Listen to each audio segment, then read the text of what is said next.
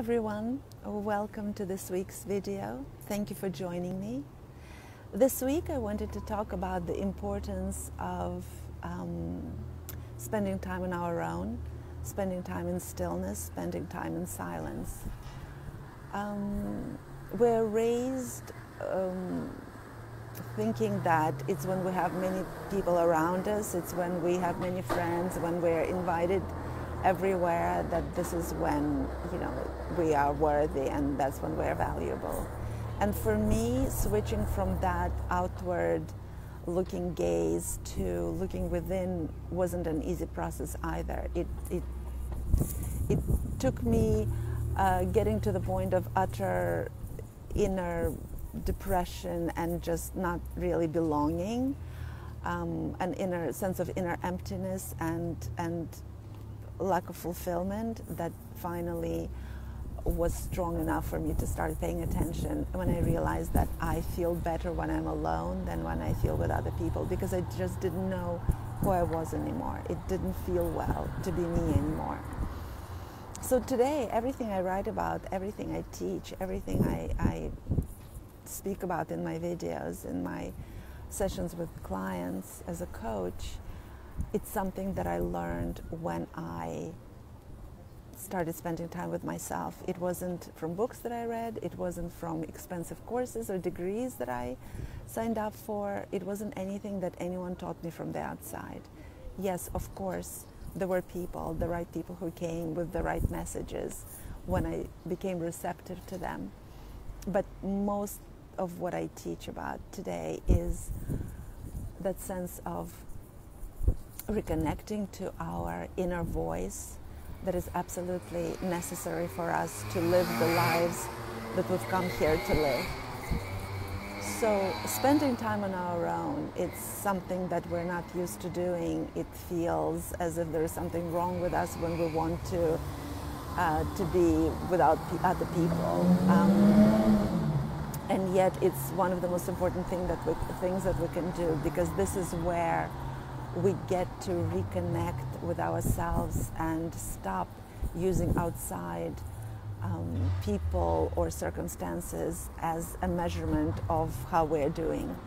It's when we are left in stillness, in quiet with ourselves, do we start really um, understanding what our life feels like and whether we are in the right place for us and whether we are where we want to be it's it's scary in the beginning. It's because we when we're used to being guided from outside, we are not attached. We we have lost connection to that inner barometer, inner guidance.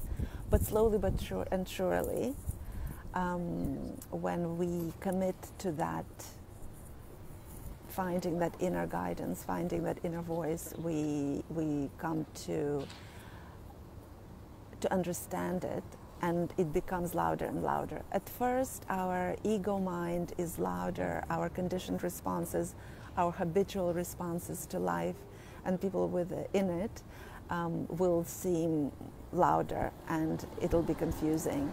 But the more time we spend with ourselves, we become a witness, an observer of our process, and that to me was one of the most important things. So, what happened is as I started becoming of my own observe, of my own process, of my own thoughts, of my own reactions, of my own triggers, I started understanding something about life that, that actually most of the choices I've made were not even mine.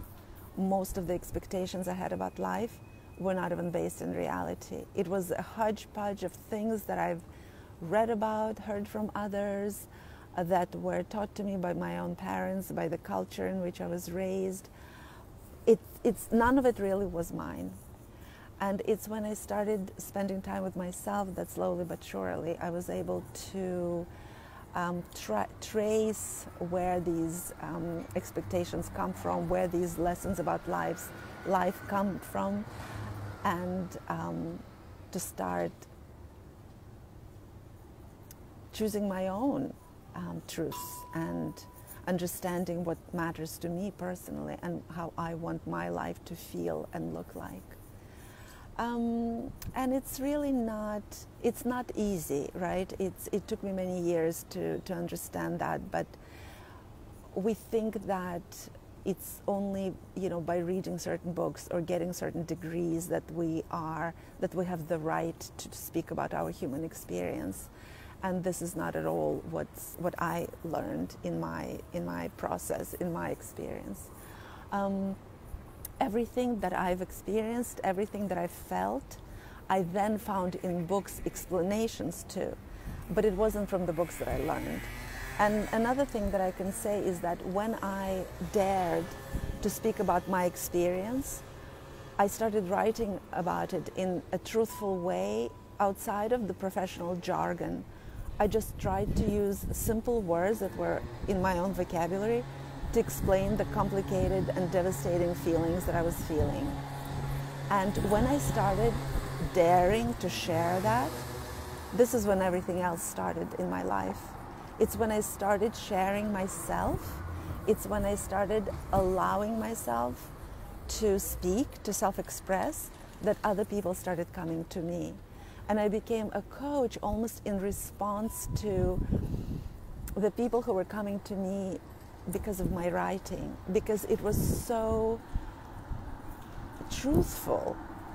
It was so simple. The language I, I, used was simple. It was my own language. It wasn't because I was a psychologist or because I was a sociologist or because I was a scientist. I was just a regular person who started daring to speak about my experience because the more I shared my words, the more I shared myself, the more I realized that I'm onto something and that my experience as a human being actually is a lot like other people's experience. That we ultimately we all ask the same questions, we just don't all dare to speak about it publicly. So that permission that we can give ourselves to express to me was life changing.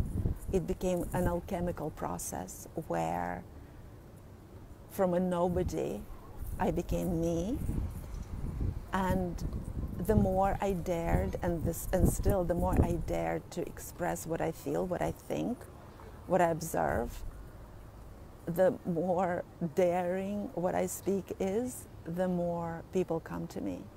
It could be privately, it could be, you know, not not in, in a way that other people see, but it's just been a tremendous experience for me. That as soon as I started allowing myself to be myself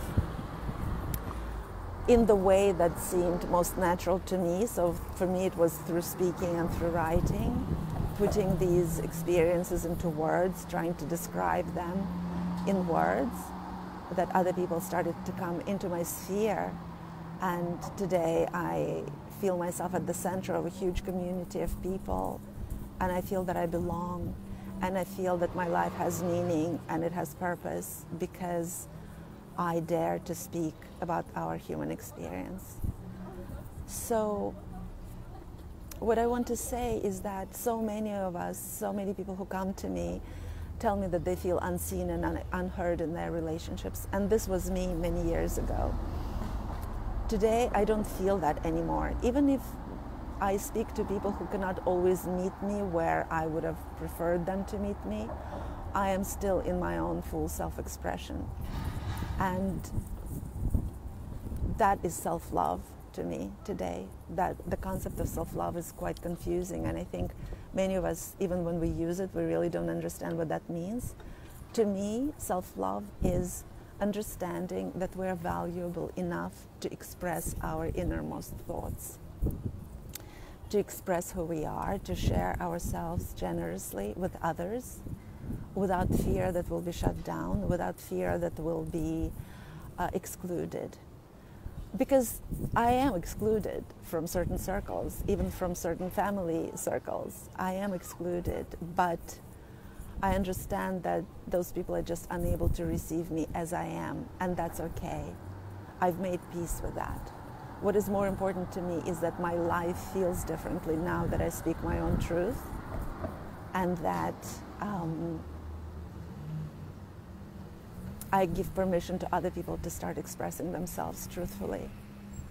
It feels absolutely incredible that sense of freedom and that sense of connection that I know today as I express myself freely in so many different ways is absolutely what connection is all about. I feel connected to this life. I feel connected to my life in this world, and I, I feel that there is a place for me here.